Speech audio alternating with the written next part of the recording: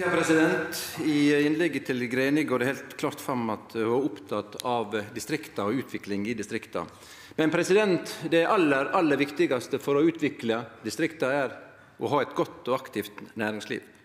Og Da er det én ting som teller mest av alt annet, som kan oppsummeres i gode, stabile rammevilkår. Og president, det er jo slik at Denne regjeringa har sendt to nær sagt bomber inn i dette det ene er grunnrenteskatt, der en i utgangspunktet ville ha en grunnrenteskatt på 40% på, på havbruk. Den ble lavere. Den, men likevel, i dag er det 30 milliarder som står på vent. Det andre er formuesskatt, som en har dobla. Formuesskatten for næringslivet i distrikta slår ekstra ille ut, fordi at der trenger mer kapital enn f.eks. i byene. Mener representanten at dette er god distriktspolitikk? Greni. President. Eh, jeg har eh, sittet i komiteen i 14 år, og de første ti årene var skriket fra distriktskommunene at arbeidsplasser var det aller viktigste. Og ja, vi skal fortsatt sørge for at det er næringsutvikling i distriktskommuner og flytte ut arbeidsplasser.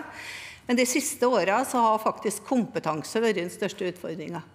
Næringslivet i distriktskommunene etterspør kompetanse og sier at det er en større utfordring at de ikke får til folk, enn at det ikke finnes arbeidsplasser. Derfor har vi gjort de grepene vi har gjort for å legge til rette for at eh, distriktskommunene skal bli mer attraktive for å få kompetansen til å flytte ut.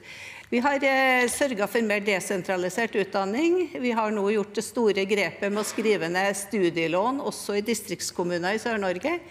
Og vi legger i hele tatt til rette for at folk skal ha mulighet til å flytte til en distriktskommune, og det skal bli billigere og enklere for folk. Ja, vi skal fortsatt legge til rette for, for næringsutvikling, men akkurat nå er faktisk det å skaffe nok kompetanse til både privat og offentlig det viktigste. Krotle. Ja, president, Jeg er enig i at det er vanskelig og faktisk selvsagt veldig viktig å skaffe kompetanse Eh, det har vi jo hørt lenge. og Desentralisert utdanning eh, det var jo faktisk også noe som den forrige regjeringa var veldig opptatt av, og som en nærmest innførte.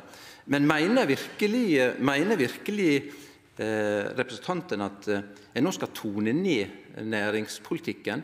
At ikke næringspolitikken er det viktigste? At ikke det er bærebjelken i distrikta. Det er jo der kapitalen ligger, det er jo der aktiviteten ligger, det er jo der utviklinga ligger. Mener en virkelig at det ikke er så nøye med at næringslivet i distriktet har gode, stabile vilkår. Det er oppsiktsvekkende.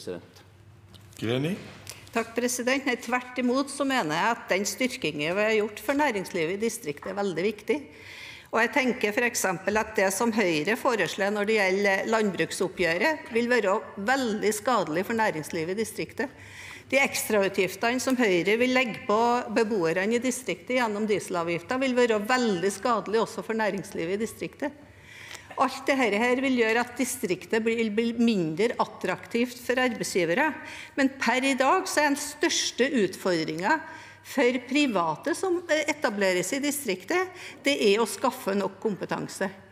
Jeg tror ikke jeg har vært i en distriktskommune der de ikke har sagt at ja, vi kunne ha utvidet denne bedriften, ja, vi kunne ha etablert oss her hvis vi har vært trygge på at vi klarer å skaffe nok kompetanse. Og Kompetanse til kommunene er selvfølgelig også viktig, for har vi ikke like gode tjenester til innbyggerne i en distriktskommune som i de andre kommunene, så vil ikke kompetansen flytte dit, og næringslivet vil ikke få den nødvendige kompetansen for å kunne utvikle seg videre. Ja, president. Jeg oppfatter det faktisk slik at representanten i sitt siste svar innledningsvis sa at en hadde styrka næringslivet. Men det er jo nettopp det motsatte som er tilfellet. En har innført en ny distriktsskatt, kalt lakseskatt, som gjør at det i dag er som jeg sa i stad, 30 milliarder prosjekter som er lagt på is. En har innført et system som kun advokater og, og revisorer tjener på.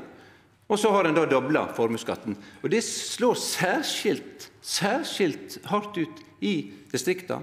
For det der, der, der, er det vanskeligere å få inn kapital for å utvikle bedriftene eh, enn i mer sentrale strøk.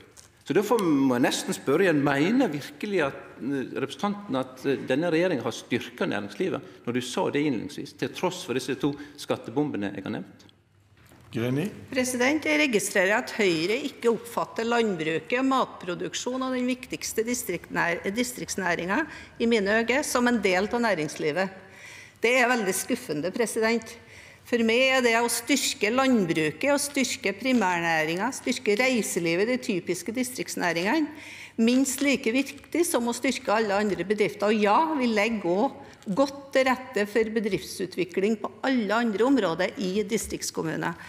Eh, kommunalkomiteen reiser rundt i alle fylker i landet, og jeg har ikke vært en, eh, på en eneste tur uten at kompetanse har vært pri én for alt det næringsliv vi har møtt rundt omkring.